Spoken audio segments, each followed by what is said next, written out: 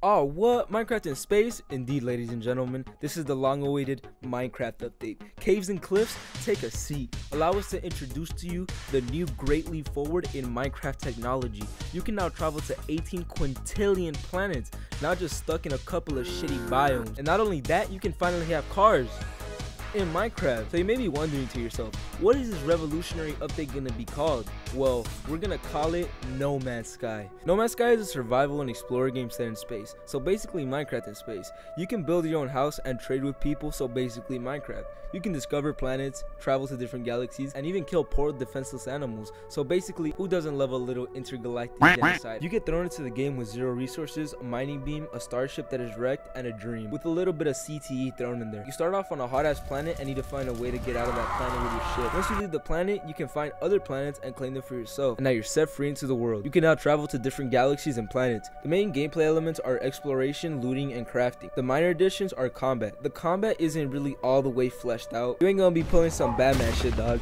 You're a regular ass traveler. You are no different than the others. There's two different types of combat, aerial and ground combat. With ground combat, you're straight up slaughtering animals, minding their business, destroying sentinels, which are little annoying ass robots that chase you around when you're taking resources from a planet because!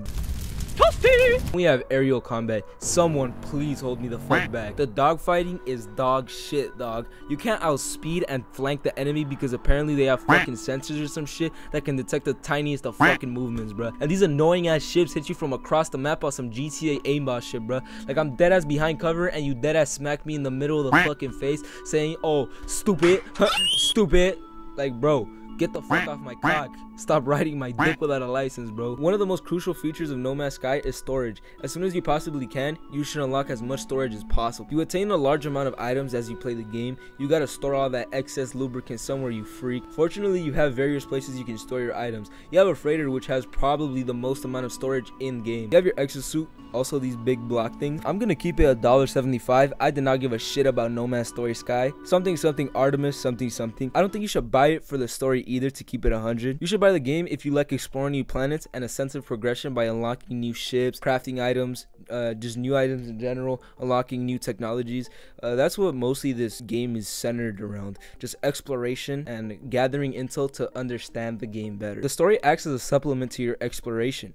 It's just giving you the tools to travel out further, expand your your bases, create new exocrafts, get technology for your exocrafts. That's basically what is there. The story tells you to visit different solar systems and planets. And you have to play through the game to unlock some items, such as the anomaly. And you also have to play the game to hire different species to work for you. And it gives you some stations. There's no voice acting in the game. It's only text, so get ready to read the fucking Bible anytime you interact with any minorly intelligent AI. I'm sending a prayer right now for all my dyslexic folks, bro. We're praying for y'all. No Man's Sky has a feature where in the beginning you don't understand a single thing that these creatures are saying. And after some interacting and collecting knowledge, also with the use of the translator, you can begin to understand their language which is tedious at first, but it makes it much more immersive. I mean, dog, you become fluent even though you've never interacted with these people, probably got brain damage from crashing into the planet. That would be a big ass slap in the face to all of the people that are really into the lore. Overall, No Man's Sky is an extremely solid and ambitious game. There's a lot to do in the game, and it's kind of overwhelming at first. I'm gonna keep it a, a buck 75,